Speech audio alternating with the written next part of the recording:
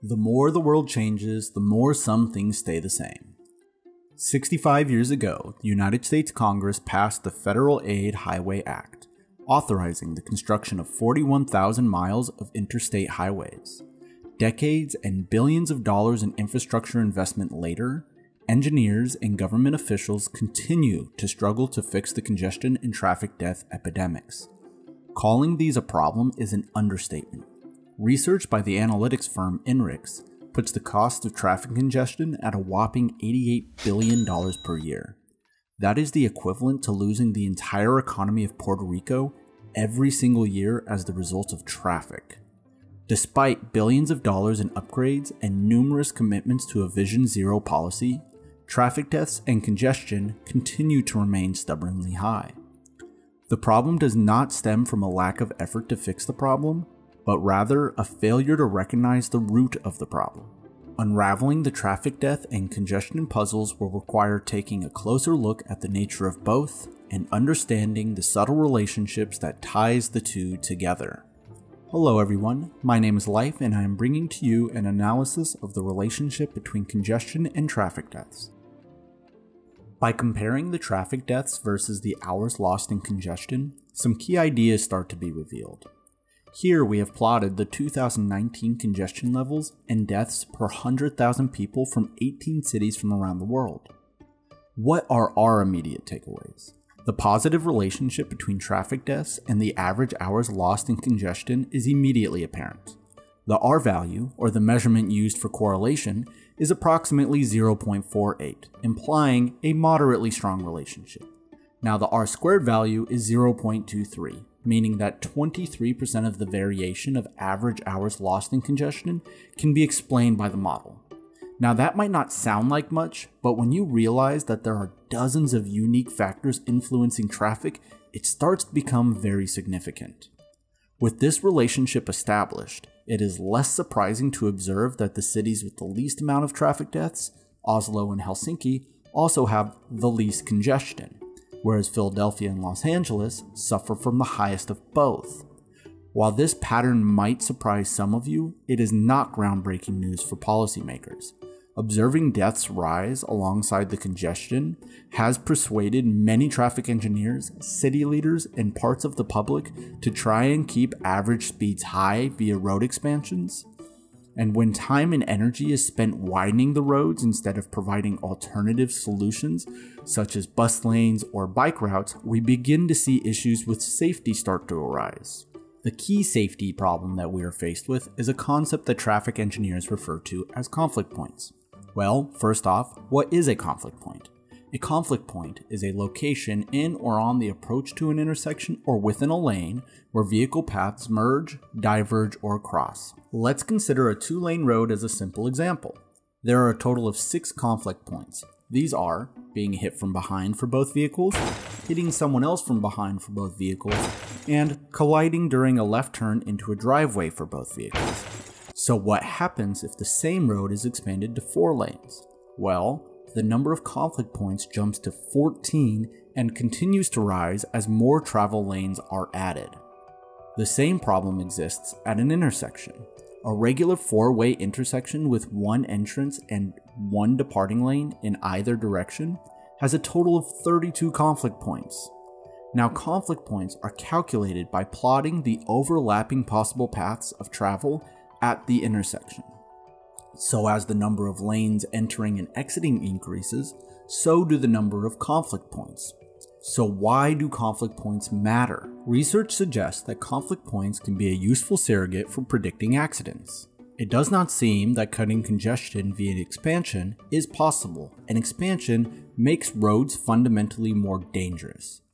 This also does not take into account evidence that shows drivers behave more recklessly on wider roads and are a greater risk to pedestrians and cyclists. The final nail in the coffin comes from examining the worst performers of the 18 cities in the model Philadelphia and Los Angeles. What is a common theme in these cities? Very large highways, roads, and intersections that are direct result from a legacy of trying to improve safety by cutting congestion.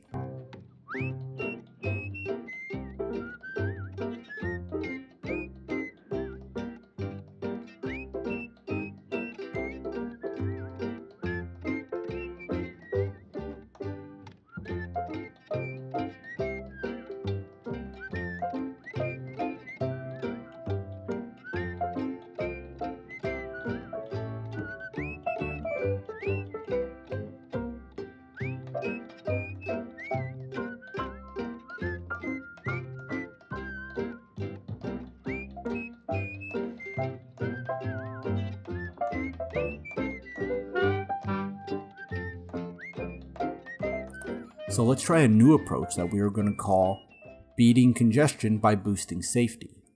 Because improving safety by reducing congestion has failed to work, we must consider an overlooked explanation that serves as a mechanism for correlation between traffic deaths and congestion. Perhaps making roads safer is what cuts congestion. Now, this might sound strange at first, but let's consider a typical road project as a simple example. As we established earlier, narrower roads have fewer conflict points and tend to be much safer. But how does this mean less congestion? So let's address the scenario on the screen. Let's assume that the original road width was 48 feet wide with four 12 foot travel lanes. Now we decide to make a change and go to three 10 foot wide travel lanes and use the extra 18 feet that was previously dedicated to cars to put in something like a 12 foot wide two way cycle path with a green barrier add in a new tram line, create a bus only lane, expand the sidewalks, or some combination of these options. This mindset of using alternative forms of transportation to reduce congestion is critical to getting road users to switch to other transportation modes. More space and user protection is fundamental to creating an environment that significantly boosts the use of active transportation and dedicating space for mass transit allows it to actually become a competitive option for commuters. Less road trips by cars goes a very long way in the reduction of congestion in cities. Time lost from congestion increases exponentially as more cars are added to a road system. However, it is also known that there is an exponential reduction in congestion and time loss as cars are removed from the road system. So, to provide more evidence, let's revisit the top two performing cities of the 18 that we have plotted Oslo and Helsinki. If this hypothesis is correct, there should be much smaller road facilities with plenty of space for other forms of transportation.